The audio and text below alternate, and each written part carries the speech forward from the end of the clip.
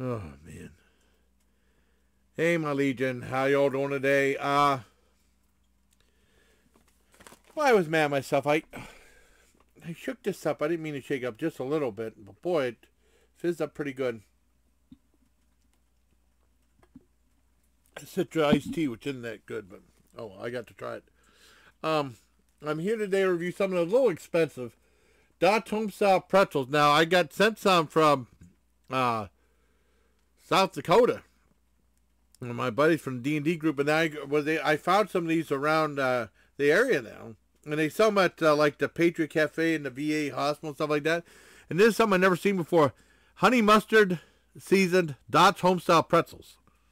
Now this was kind of pricey. A Walmart is thinking like five thirty eight, but it's a big, big bag. A one pound bag. Okay, cool. See, look at that. Oh, Velva, North Dakota. They're from North Dakota or South Dakota? I think it's South Dakota. Anyways, it's an unexpected start. Dot's Homestyle pretzels are a special family snack created by many years ago by Dot herself in her home kitchen. And this show is supposed to be a picture of her right there. Look. Hey, how y'all doing? Thank you for buying my pretzels. Done. And it said, we're a family-owned business as well as a proud member of the Pride of Dakota brand with bakeries located in North Dakota, Arizona, and Kansas.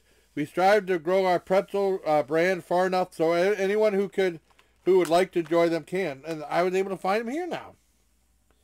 Uh, let's try it out. I know John. I mean, well, he tried one of the honey mustard Pringles before, but he hates he hates honey. I know that. That's what he said. But I mean, I I I found out about honey mustard when I started flying because they had the honey mustard peanuts and they were fantastic. I never had those before. Dad would just get like the like the assorted ones or the redskin ones. The redskin ones are good too. And the assorted ones are good too. But I mean, he never get the honey mustard. He said, ah, they're probably too sweet, too sweet, too sweet. But I really liked them. And that's back when you used to get free stuff on a plane. I never paid for food or drink ever on a plane. Now, I mean, I, I guess you had to pay for alcohol. I never had alcohol on a plane. I was offered some, but I didn't know I was in first class. I guess I was in first class, and I didn't know I was in first class. I could have free alcohol. They said it's free. I would have had some.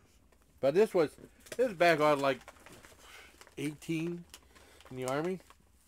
It's a slightly sweet, a little salty, a subtle tang. And I didn't really drink that much back then. And then I made up for it about a year or two later when I went to Germany.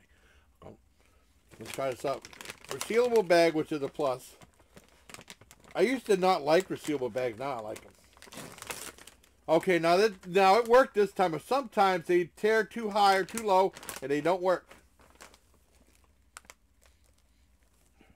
I don't really have much to smell to them. What do you look like right here? Look at that.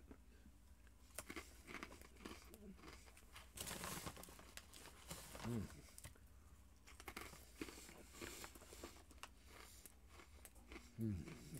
These are really good.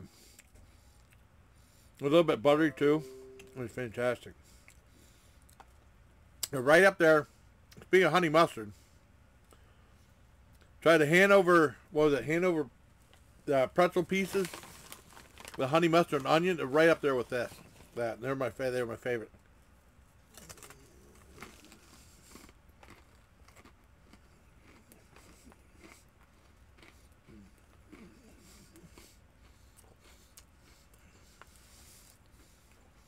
Mm. Yep, and taste the sweetness from the honey with a little bit of spice from the mustard. These are really good. About as good as it gets. These are 10 out of 10.